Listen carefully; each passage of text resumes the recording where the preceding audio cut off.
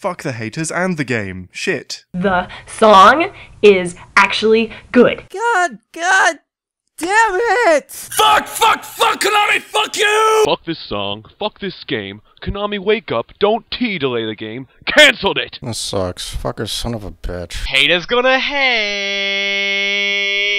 Damn, Korn did good. I am actually really shocked at this damn song.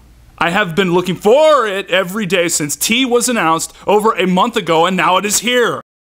Fuck! Yes! Can't wait to get scared. When I say sacred, I mean it. Ow! Korn! What is this? Okay, I have to said this.